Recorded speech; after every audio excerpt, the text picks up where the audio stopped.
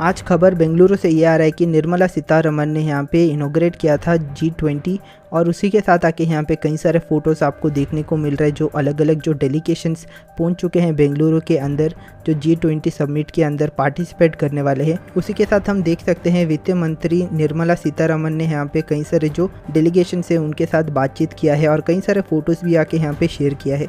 जैसे कि ये ओकेशन था लंच टाइम तो लंच के वक्त आके यहाँ बेंगलुरु में जो जी ट्वेंटी मीटिंग शुरू हुआ है, उसके अंदर वे आके बातचीत करते हुए नज़र आ रहे तो यहाँ पे हम लोग बात करते हैं कौन कौन आए हैं जो मेन डेलीगेशन पहुँच चुके हैं, उनके बारे में हम लोग जानकारी ले लेते हैं। तो यहाँ पे कहा जा रहा है कि यूएस के जो ट्रेजरर है सेक्रेटरी उन्होंने भी यहाँ पे पार्टिसिपेट किया है। यूरोप के सेंट्रल बैंक के प्रेसिडेंट वे भी मौजूद है इस जी ट्वेंटी के अंदर।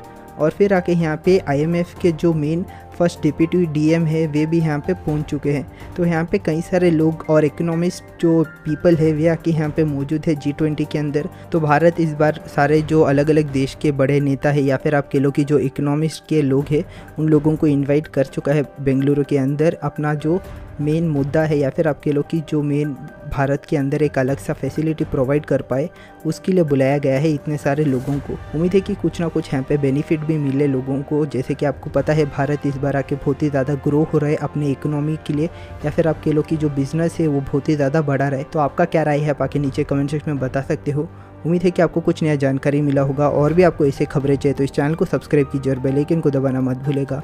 मिलते अगले वीडियो में। Thank you for watching this video guys thank you